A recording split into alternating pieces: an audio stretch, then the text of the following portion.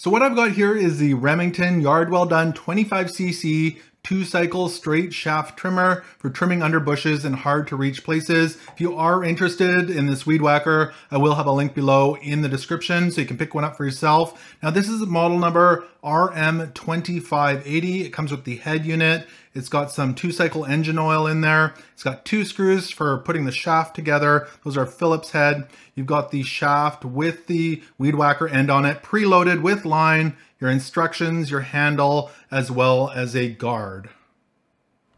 Now putting the unit together was quite simple. Just slide the shaft together. There's two Phillips screws that you put right in on the side.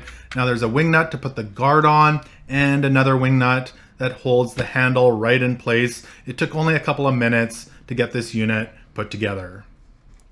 Inside the box as well, there is two cycle engine oil, so you can pre-mix your fuel. It's a 40 to 1 ratio, or you can go ahead and buy pre-mixed fuel at the store. On the head unit itself, there is a handle here to start it, a pull handle. You've got the on-off switch right here. It's defaults to on, you just push it off when you want to turn off the unit. You've got full choke, half choke, as well as on right here, one, two, and three. On the side, there are instructions of how to start the unit. You've got a pump here for the fuel so you can get it pushed through to start it up, as well as your fuel tank right here on the side. The cutting end seems quite well built and again it has the guard and it's preloaded with line. Starting it up was quite easy. It wants you to push the bubble here 10 times. From there you're going to pull the trigger a couple times and you can start trying to start it with the full choke mode on or number one.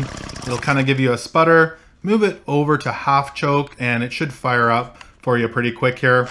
Once it is fired up, just leave it for about 30 to 60 seconds before you turn off the choke and go to number three, which is no choke.